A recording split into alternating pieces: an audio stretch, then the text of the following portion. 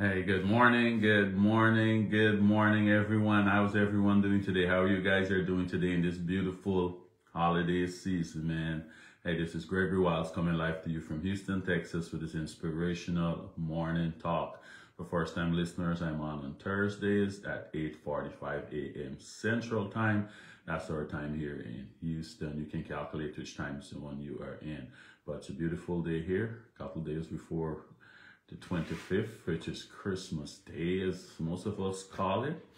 But it's great here. Hope you guys having a wonderful season so far. But yes, today, guys, today, what I want to talk about, you know, last week we talked about um, what to do to get a financial um, blessings, what to do to get a financial blessings, because I know a lot of people going into the new year with the resolutions. And like I said, I usually do uh, prepare people for a fast but I wasn't led this year to do that. But you still need to do your fast. Still need to do a fast, clear the way for the new year. But I want to give people some scriptures because I know that a lot of um, some of the common things that people are going to be praying for in the new year. And I want to kind of prepare you for that. Do your fast. Uh, but then I can give you some scriptures to go along with that to help you be prepared for those resolutions, right? So last week, like I said, we did about the financial blessings. Today, I want to talk about our kids, praying for our kids, because I know a lot of people, I have a, a teenager, and I know the challenges raising kids, you know, even the internet knows a big challenge. They're going to school. Uh, it's, it's so much, right? And, you know, some people with adult kids not doing what they do, not on the right track, you know what I mean, who um, on drugs with the wrong set of friends, being promiscuous out there, all these things we got to deal with experience, right? But um, so I want to give people some scriptures where they can use, man, use the authority you have. I want to give you some scriptures that use the authority that you have to bring changes in those kids' lives, right? Because we sit and we can worry and we can complain to everyone about what they're doing. That's not going to change things. We're going to change things using the authority you have with this word here, right? So first we can look at a few scriptures and at the end of it, I can show you how to put it in a prayer and you can pray um, for your children, right? Um, first, I want to look at Psalms 127, 3. Psalms 127, verse 3. It said, Behold, children are a heritage from the Lord. The fruit of the womb is a reward. Let us start right there. Psalms 127 verse 3. It said, Behold, children are a heritage from the Lord. The fruit of the womb is a reward. This is a New King James Version. He is saying, God is saying, children are a blessing. Number one, let's start there. He's saying, children are a blessing. The fruit of the womb is a reward. It's a reward. All right? So we're going to start with that one right there. This is a blessing. My child, don't care how they be and what they're doing right now.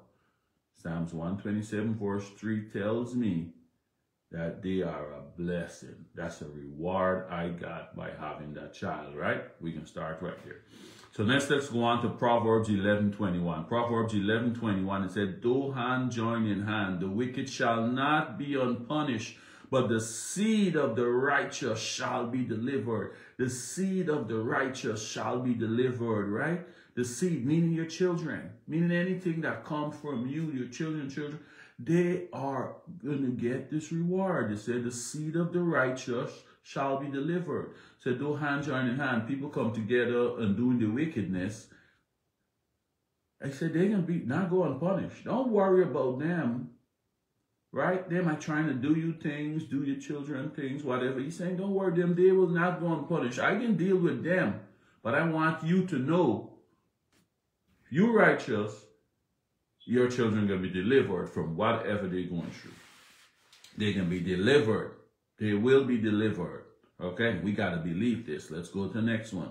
Psalms 112, 1 um, and 2. Psalms 112, verse 1 and 2 it said, Blessed are those who fear the Lord, who find great delight in his commandments. That's the same righteous, right? Blessed are those who fear the Lord and who find great delight in his commandments. Their children will not be, their children will be mighty in the land. The generation of the upright will be blessed.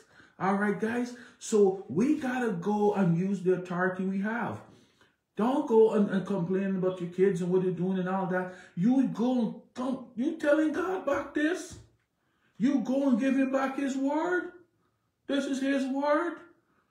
So Taylor, good morning, good morning. How are you doing? Hope you're having a great day today. You give him back his word. Jeremy Grimes, good morning, good morning. Give him back his word, man. This is his word. So let's look at the next one here, Psalms 37, 25.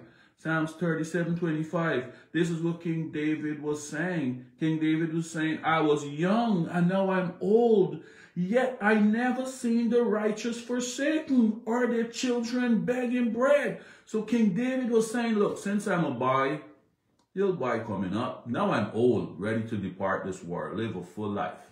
And one thing I can tell you for sure, I never see the righteous forsaken, nor their children begging bread. King David, one of man after God's own heart, one of God's most faithful servants, he telling you we can trust God. Because these promises were God talking about the righteous, he said he witnessed it in during his lifetime. He never see the righteous forsaken nor the children begging bread. So if you are righteous, righteous to me, you got to be holding and down and pastor and preaching all and all and all. You give your life to Christ. You follow his, his, his, his, his laws and his commandments to the best of your ability. You're going to fall down. You get up and you keep going. It doesn't say you, you know, big beer in a robe. And no, no, no, no, no, no. Don't let people fool you. The righteous, you give your life to Christ, right? And you go on and follow his laws, right? You, you, you don't say you don't got no sin in your life. You give your life to Christ, you qualify for these blessings, all right? So the next one, Psalms 37, 4. Psalms 37, 4 said, Take delight in the Lord, and he will give you the desires of your heart. If You take delight in him. You are the righteous. You're taking delight in him. He can give you the desires of your heart. What desires of your heart? Let him know what's the desires of your heart. Once the car say his will, we're going to get it, right? So let's go over these again, and then we can kind of put them in a um in a prayer form so you get an idea, man. We're talking about our kids, man. We're talking about our kids, our grandkids. This world right now is a lot of stuff going on, man, and there's a lot of stuff to pull them in the wrong direction. So we want to make sure that they're taken care of right? And not by worrying and not by complaining, by using this word here that God give us. God said, look, I understand we're going to go on, but I also tell you, use my word and I got them. I got them. I got them, man. Right? So let's start again from Psalms 127, 3. It said, behold, children are a heritage from the Lord. The fruit of the womb is blessed. So he done saying, you get the child is a blessing. That child to you is a blessing. That's what he's saying, right? It's a blessing. There's a heritage from him. The fruit of the woman's a reward. So we can start right there. Then we can go on to Proverbs 11, 21. Though hand join in hand, the wicked shall not go unpunished, but the seed of the righteous shall be delivered. He's saying they got to be delivered. The seed of the righteous, they going to be delivered. No matter how the situation look right now. No matter how it look right now. He's saying, I to deliver them. And we got to pray that they want the deliverance and everything. But he's saying, I'm going to deliver them because you are righteous to me. Psalms 112, 1 and 2 saying, Blessed are those who fear the Lord, the righteous, who find great delight in his commandments. Their children will be mighty in this land. Their children will be mighty in the land. The generation of the upright will be blessed. This is serious promises he making, and God's a man don't lie. He said whatever he promised you, he gonna hold on to that promise. Remember with King with King um, Solomon, he promised David he can keep someone on the throne and he can take care of Solomon and, and all of that like his own child and all of that. And when Solomon screwed up, when Solomon screwed up, God visited him twice. I might do that tomorrow or I plan doing that today, but then he lead me this way. Solomon screwed up and, and God come and visit him twice and said, Solomon, change your ways. And he gets so upset with him. He said, I'm going to rip this kingdom from you. But then he said, hold on, hold on, hold on. You know what? I can't take it from you. Because you know why I can't take it from you? Because I make a promise to your father, David. I'm going to take care of you and I'm going to keep you on the throne and I'm going to look over you like you're my own son. But right now, you're a wayward son. But I cannot take the kingdom from you, but I can take it from your children. I can take it from your son. But even I'm taking it from your son, I still can't take the whole thing. Because he was over the whole 12 tribes at the time. He was the second king that was over the, the, the, the, the 12 tribes. He said, I still can't take the whole thing from your son. I can take I can take 10 of the tribes and, and, and, and I left him with the one. Well, them two come together and make one the tribe of Judah. I still got to keep somebody from David lying on the throne because I make a promise to him. I make a promise to the man that was righteous. And I got to keep the promise to him. Even though you screw up, Solomon. Now you make it bad for your child because I would, he had to inherited the whole 12, 12 tribes. But you know what? I still got to keep a king on the throne for David because I make him a promise. Even though you wicked Solomon, you you you slip off track and going out with all these women, I tell you not to go with cutting and pull you away from me. But I still gotta hold the promise to make to make to King David. Because he was a righteous. So these promises here is just like that for me and your kids. That he gonna do the same thing. He gonna be just as faithful how he was to David. He can be a faithful to us because he said his word does not lie. He cannot lie. He said, heaven and earth will pass away, but my word, not a, a, a ink, not even the ink can even get a smudge of my word. He put his word over creation. So we could hold on to this. We could hold on to this, right? So Psalms 1, Psalms 37, 25. David, same David telling us, I was young and now I'm old, yet I've never seen the righteous forsaken nor the children begging bread. He said, the righteous, you're not going to be forsaken, no matter how things look right now, because he might got to put us through some things to even bless us for. He's saying the righteous will not be forsaken, right? Nor the children begging bread. Then Psalms 37, um, 4 saying, take delight in the Lord and he will give you the desires of your heart. So now when you go on your fast, use scriptures like these. If it's your child you're praying for, you want to give him back his word to God. This is a promise you make. Am I holding you to it? He can say, well, good. That's my word. It's just like you're going to court, right? And you're fighting a case.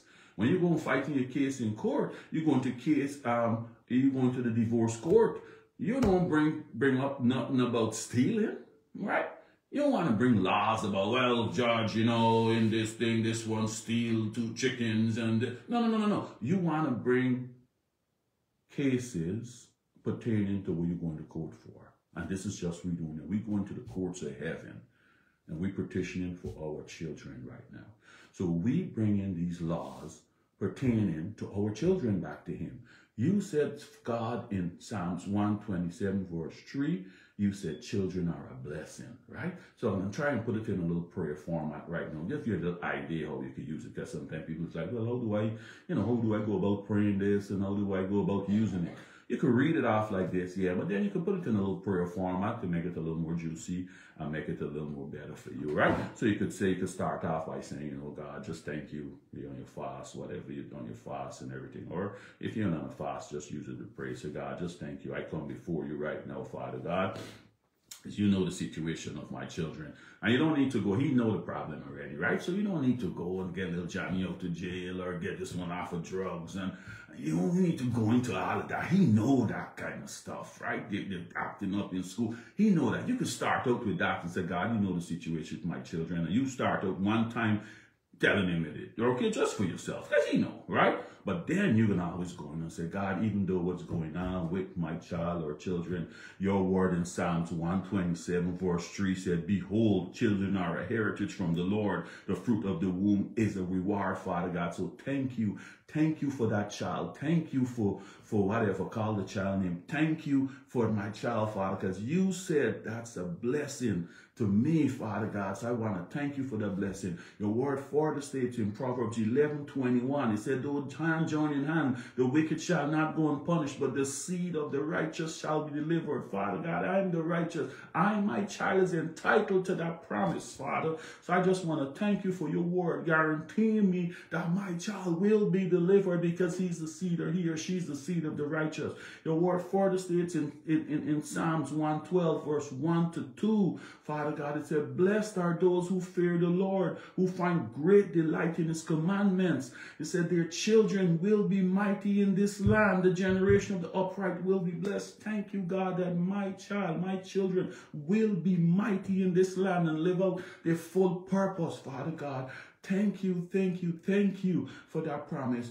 Your word further states in Psalms 37, 25, God, where King David, one uh, somebody who was after your own heart, one of your most faithful servants, said, I was young and now I'm old, yet I've never seen the righteous forsaken or the children bringing bread. So, Father God, I thank you. I don't matter how my situation look, how the situation of my child look, your word states the righteous never forsaken and their children will never be begging bread. I thank you that my child will be mighty. Thank you that they will be prosperous. Thank you they will be successful. Thank you that they will be delivered from whatever they're going through. You, you state whatever they're going through, whether they're acting up at school or on the drugs or or got bad friends or what. Thank you, they'll be delivered from it, Father God, because your word state that, and you said your word, your word, heaven and earth will pass away, but not one stroke of, of, of, the ink will pass away from your word, Father God. You put your word over creation, Father God. You say you're God that does not lie, Father God. So I just want to thank you, and I'm holding these promises I hold in faith, Father God. I don't care what I see in front of me, Father God, because seeing bring doubt, Father God. But this word, if I believe in this word, Father God, I know I'm going to get the result because your word cannot you cannot lie, Father. So I just want to thank you, Father God. You said if I take delight in the Lord, He will give me the desires of my heart. My desires of my heart is to see my children prosper. The desires of my heart is to see them be delivered, Father God. So I just want to thank you that your word said you'll be mighty in this land. So I'm not going to be fooled what's going on right now. I'm not going to be discouraged. I'm going to hold on your word knowing that you said they must be delivered because they're the seed of the righteous. Father, I just thank you. Thank you for all the people listening to this. Thank you for who will listen to in the future, Father God. And they could trust your word, Father. They can trust your word, knowing that you're a God that does not lie. And if you make a promise, you going to fulfill it. We just got to believe that. We got to believe that. Look at all the stories you laid out for us in the Bible and you never relinquish on a promise. So why are you going to start now? So Father, I just thank you. I just thank you that my children will be saved. They will be delivered. They will be mighty in this land. In Jesus' name. Right? And you just throw it in a throw it in Mars Hubbard. Good morning. Good morning, Pamela Fontanelli. Good morning. So you put it in a prayer format like that. It got to be exactly, but make sure you're using these scriptures, even if you're just reading them and giving it back to him, right? Because this world right now, the enemy gonna attack our kids. You know, if you get our kids from early, he knows game over, right? But we got something for him. We got something. You're talking the wrong people because we got power over, over him. And we're gonna use our authority. Right, guys? So guys, if I don't pop back on before um, Christmas Day, which is Monday, I want to wish everyone a Merry, Merry Christmas. But um, I may come back on and do some some something before then. But if not, have a great Christmas, guys, and I can see you guys next week. All right, thanks. Goodbye.